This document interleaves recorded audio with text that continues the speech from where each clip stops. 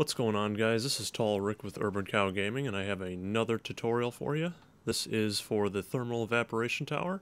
So the basics of the tower are you're going to need a thermal evaporation blocks, you'll need thermal evaporation valve, and you'll need a thermal evaporation controller.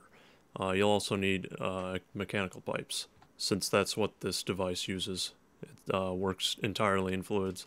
So let's just get started on it. So you're going to want to build a 4x4 base. Uh, you cannot skimp on the corners, and I'll explain that in a little bit. And then your controller will go down on the front, and then you'll need your uh, valves. They can go just about anywhere, doesn't matter. You'd think you'd need to put, you know, the input valve on top, but you really don't. So we're just going to fill this up.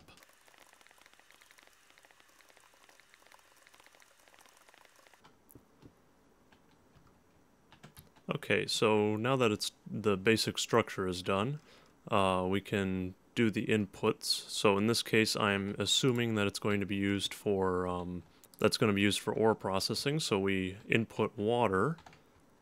And these valves, you don't have to configure at all. Um, you just they're just configured by the way that the configurator is set up. So if you want to get the brine out of it, which is what the thermal evaporation tower produces when you put water into it, you just got to make sure that you set the um, the mechanical pipe to suck. Alright, so that's the basic structure. The thermal evaporation plant's production is based on its temperature. Unfortunately, covering it in lava does not increase its temperature at all. Uh, you have to uh, do certain things. So one of those ways is to remove the corners up here, and that's why you can't um, build it without the corners. And you can put as many advanced solar generators as you want, and that will drastically increase the temperature. Uh, that is not the only way to heat this, though. The other way, put another vent in, and then use these thermo, uh, thermodynamic conductors, then use a resistive heater and basically what these do is they produce heat, which then is transferred into the tower. And if we go over and look at this uh, controller here, we'll see that the temperature is rising again, which will increase the amount of uh, brine that's produced.